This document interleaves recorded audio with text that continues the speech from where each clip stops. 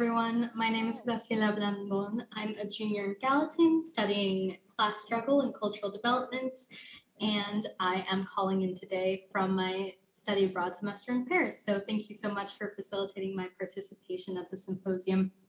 I'd like to just begin by expressing my sincere gratitude to the Suki, Mehmet, and Kim for their constant support this year, and a special thanks to my incredible fellowship advisor, Sophie Gonick, whose guidance was truly invaluable to me.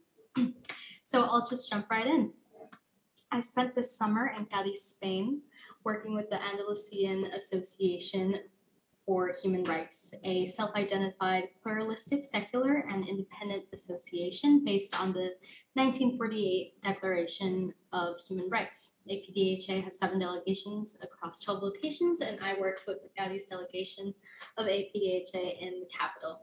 They base their works on uh, sensibilization and awareness of citizenship, protest and social reporting, elaboration and proposals of alternatives, and support and solidarity across the work areas of prisons, marginalization, migration, international solidarity, education, sex work, and feminism. so this summer, I was hoping to take a comparative approach towards human rights work in border contexts. I'm from El Paso, Texas, so I'm very interested in border scholarship and wanted to get a global perspective on the framing questions such as how do border populaces define their own sovereignty? Uh, what identities are created or destroyed due to living in periphery communities? And how are they affected by national identities, Europeanization, the idea of citizenship? And how does human rights and human right organizations play into that? Uh, why Spain? I was interested in the Spanish context due to the lingering memory of the Franco regime, 15M, and the cultural and political fragmentation of autonomous regions, many of which have moved for independence in the past.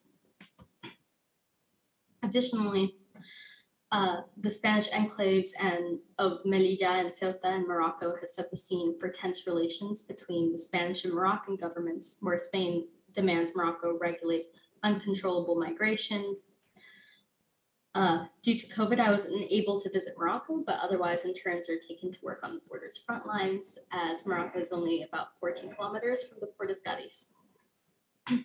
I was uh, particularly attracted to APDHA Cadiz because this delegation has been at the forefront of the migration crisis on Spain's southern border while managing a varied portfolio of intersecting human rights and advocacy work.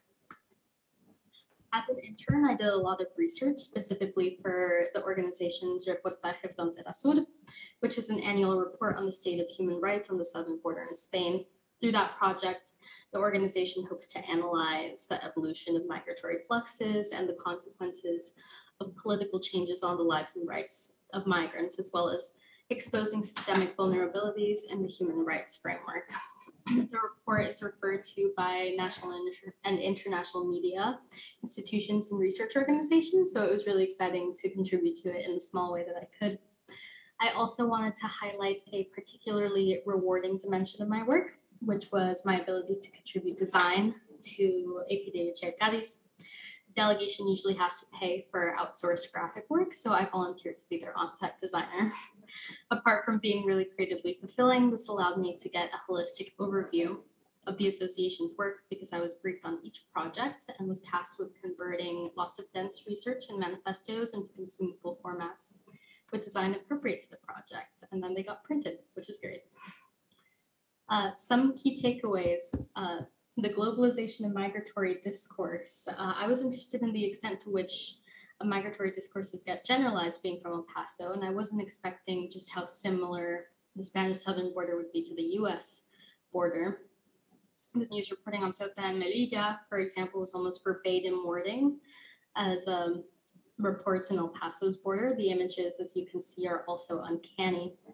Uh, this led me to questions about, you know, is there something essential about that our migratory politics develop along these archetypes. Uh, what's the source of the globalization and does it merit a global response via u- a universal human rights framework, even with all its pitfalls?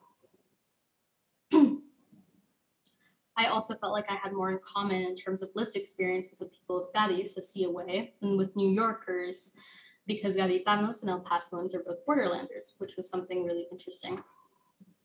Uh, I also had to nego- negotiate a lot of uh, the implications of nonprofit work. You know, what does it mean that an organization is trying to integrate migrants? Uh, it should we be complicating our view of that? Uh, APDHA is publicly funded and often assumes government responsibilities when the state is overwhelmed. So, what happens when there's conflict with the state? Uh, funds aren't contingent on the organization's politics, but most folks are especially disenchanted with the institutionalization of their activist work. So, what's next for me? Uh, I have a lot of different research interests, so I don't know if I'll continue looking at those through a human rights lens. Uh, though I have a lot of unans- unanswered questions after this summer. Uh, personally, I was really happy to establish a network of friends and family in Spain. I'm hoping to continue contact and collaboration with the organization, especially in design work, since I can do that remotely.